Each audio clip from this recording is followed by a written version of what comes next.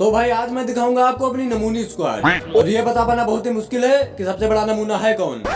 तो भाई, यहाँ पे आलोक बोर्ड को सामने घर से बंदों के फुटस्टेप आ जाते हैं। तो मैं भी एकदम तैयार गाड़ी लेके जाते ही छाती पे फार्चूनर चढ़ा दूँगा।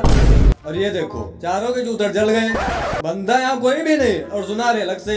मैं बोल रहा हूँ, बंदा यहाँ कौन बता रहा था? एक बोल रहा है, गाड़ी कौन चला रहा था? तीसरा बोल रहा है ग्रेनेड किसने मारा? सबके सब बकचोद कोई भाई एक्सपेक्टेड कर रहा हो तो क्या कहेगा? क्या टट्टी स्क्वाड है? अपने आप ही मरे जा रहे हैं।